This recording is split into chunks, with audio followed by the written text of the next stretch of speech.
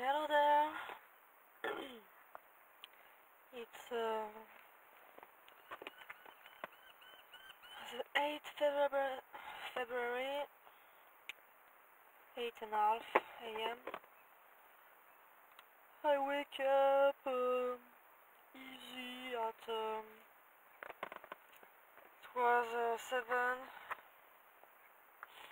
and a half but my uh, alarms ring at uh, 4, 4, 15, 4 and a half. Because I used to wake up this, this time for farms for the taxi. So it's an easy morning, nothing to do. The first farm since a long time. So it's cool. Um,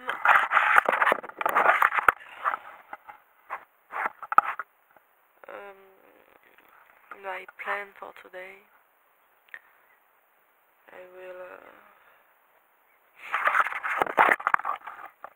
I will uh, go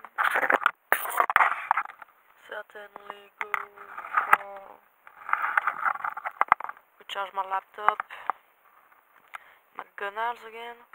But first I want shave, I want paint I want wood I want uh, I want to read for road for right